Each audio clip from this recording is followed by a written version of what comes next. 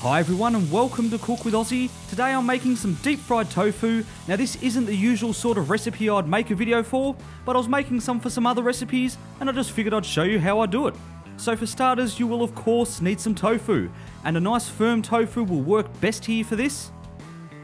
Now this is great for stir fries and any sort of Asian dish, and what I like to do is make a fair bit of it and then keep it in the freezer.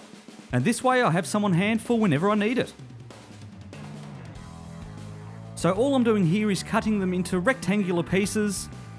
You can cut it whatever size you want, whatever shape you want. You can fry up a whole block if you like, so you can cut some slices into your stir fry, or you can do what I'm doing here and just use smaller chunks.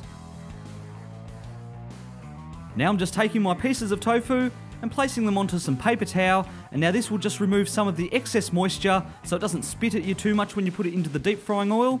And then I'm just coating these in some corn flour or cornstarch and this will give them a nice crispy outer coating, just like that, and we're ready to fry.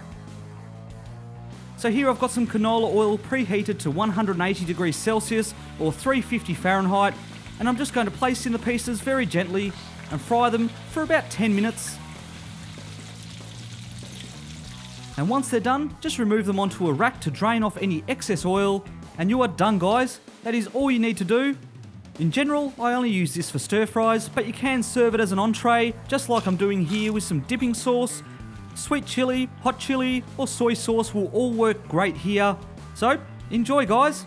Be sure to check out my barbecue cooking channel, my Google Plus and my Facebook pages. I've put the links down in the description bar along with a full list of ingredients for the recipe today.